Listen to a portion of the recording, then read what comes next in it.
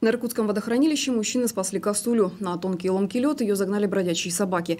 Свидетелями этой картины стали иркутяне, которые катались по водохранилищу на аэролодке. Они подплыли к косуле, затащили ее в судно и доставили на берег. Оказавшись на суше, дикая казань сразу убежала в лес, отдала своим спасителям себя погладить и даже попозировала для фото. Не спасают, а выхаживают. В иркутском засаде двух маленьких барсучат их пришлось забрать от родителей, которые тоже проживают в зверинце.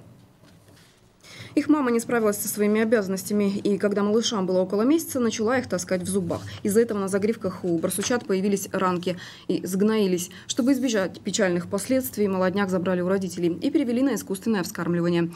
А это дело оказалось непростое. Барсучата требовали практически круглосуточного ухода. К примеру, кормить их необходимо каждые 4 часа. Помимо этого, важная процедура для них – массаж живота.